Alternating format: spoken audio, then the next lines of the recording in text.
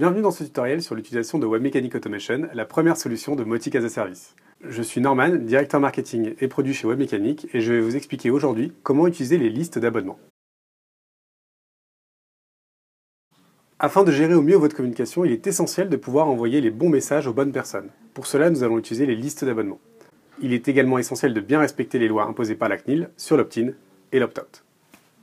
Vous retrouverez dans le descriptif de cette vidéo le détail complet des chapitres que nous allons aborder sur cette vidéo tuto. N'hésitez pas à cliquer dessus pour vous y rendre plus rapidement. Nous allons donc commencer par le lien de désinscription dans les emails. La première règle en termes d'emailing est de donner la possibilité à vos contacts de se désinscrire de vos messages. Pour cela, on utilise la règle de l'opt-out. La configuration va se faire alors directement dans la création de votre email. Pour ce faire, rendez-vous dans le menu latéral de gauche, cliquez dans Canaux Email, créer un nouvel email, choisissez le type d'email que vous souhaitez envoyer, la configuration se fera de la même manière. Lancez le générateur en ayant choisi un thème. Depuis le générateur, il est commode d'ajouter dans le pied de votre email une phrase du type « Si vous ne souhaitez plus recevoir de messages de notre part, cliquez ici ». Rendez-vous donc dans Footer et allez ajouter un lien sur le bouton ici. Il vous suffira d'ajouter un token qui générera un lien unique pour chaque contact. Pour ce faire, sélectionnez votre texte, ajoutez un lien, ajoutez le token unsubscribe URL et le tour est joué. Gardez en tête que le lien de inscription ne fonctionne pas pour les emails de test, tout comme tous les autres tokens, à savoir les variables pour les champs de contact, comme le prénom par exemple, Passons maintenant au paramétrage de votre page de désinscription. Au clic dans l'email sur le lien de désinscription, le contact arrivera sur une page de désinscription. Vous avez la possibilité de paramétrer cette page au niveau de plusieurs critères. Pour ce faire, rendez-vous dans le menu de configuration en haut à droite, cliquez sur configuration, cliquez ensuite sur paramètres de l'email et allez tout en bas pour voir les paramètres de désinscription. Dans cette zone, vous avez la possibilité de mettre à jour le texte qui sera automatiquement ajouté à votre email dans le cas où vous utilisez le token unsubscribe text. Pour cela, changez le texte dans la première boîte. Vous pouvez également choisir le message qui est affiché sur une page de désinscription quand le contact clique sur le lien de désinscription. Vous pouvez enfin choisir quel est le texte qui sera affiché si le contact clique sur le lien de réinscription. Vous pouvez enfin afficher sur la page de désinscription les préférences du contact. Ainsi, le contact mettra à jour lui-même ses préférences. Cela se compose en plusieurs catégories.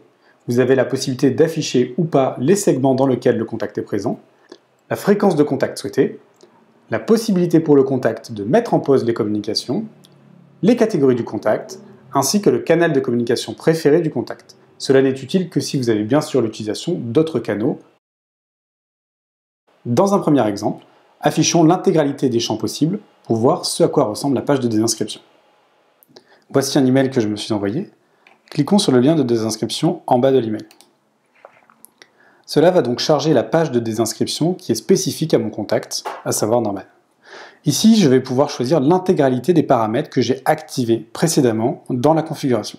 Je vais pouvoir choisir la fréquence de contact, je vais pouvoir choisir les canaux qui me sont les préférés, et je vais également pouvoir voir dans quel segment je suis inclus tout en pouvant activer ou désactiver mon inscription à certains segments. Nous allons maintenant voir comment paramétrer cette page de manière à ce qu'elle soit plus user-friendly, en masquant certaines informations et en affichant seulement les segments qui vont me servir comme base d'emailing. Gardez également en tête qu'il est possible de personnaliser la mise en forme de cette page en utilisant des thèmes et en paramétrant un thème pour la page de désinscription. Pour cela, je vous renvoie vers la vidéo de développement de thèmes, une vidéo un peu technique pour les développeurs, le lien sera dans la description de cette vidéo. Si je retourne donc dans la configuration de mes pages de désinscription, je vais ici désactiver les différentes informations que je ne veux pas afficher au contact sur sa page de désinscription. Je vais donc seulement garder la préférence des segments. tout en gardant l'accessibilité aux paramètres du préférence du contact. Si j'actualise ma page de désinscription, je vois maintenant que je n'ai plus que le choix de choisir mes préférences de contact et les segments dans lesquels je veux être inclus. Voyons maintenant comment on va personnaliser et s'assurer qu'on ne voit plus que les segments que je veux afficher à mes contacts. Nous allons maintenant voir comment accéder aux contacts désinscrits. Si vous souhaitez regrouper l'ensemble des contacts désinscrits à vos messages, vous pouvez créer un segment qui se mettra à jour automatiquement à chaque nouveau désinscrit. Pour ce faire, rendez-vous dans l'application dans le menu Segments. Cliquez sur les segments à modifier, à masquer, et dans la barre latérale de droite, choisissez si le segment doit être public ou non. Si le segment n'est pas public, il sera alors invisible par le contact sur la page de désinscription. Je procède ainsi sur tous les segments que je ne veux pas afficher au contact et je vais pouvoir mettre à jour ma page de désinscription. Suite à la mise à jour des segments pour les rendre publics ou non, ma page de désinscription ne contient maintenant que les listes que je vais me servir comme liste d'abonnements à mes différents types de newsletters. Nous allons maintenant voir comment accéder aux contacts désinscrits. Si vous souhaitez regrouper l'ensemble des contacts désinscrits à vos messages, vous pouvez créer un segment qui se mettra à jour automatiquement à chaque nouveau désinscrit.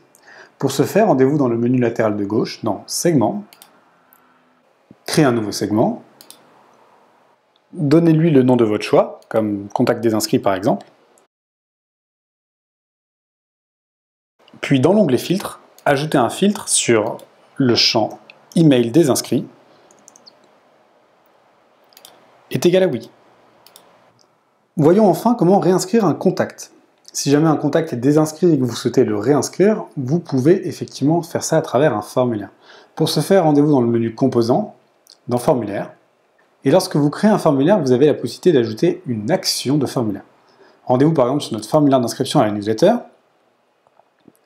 Modifions-le. Et dans l'onglet Action, il existe une nouvelle action qui s'appelle Retirer le contact des Ne pas contacter. En ajoutant cette action, je m'assure à ce que le contact à la soumission de ce formulaire ne devient plus un contact comme étant désinscrit. J'enregistre mon formulaire et le tour est joué. Merci d'avoir suivi cette vidéo tuto. N'hésitez pas à vous rendre dans le descriptif pour voir et revoir les chapitres qui vous intéressent. Suivez-nous sur les réseaux sociaux pour voir les prochaines vidéos et rendez-vous sur support.webmechanique.com pour voir l'intégralité de notre documentation. A très bientôt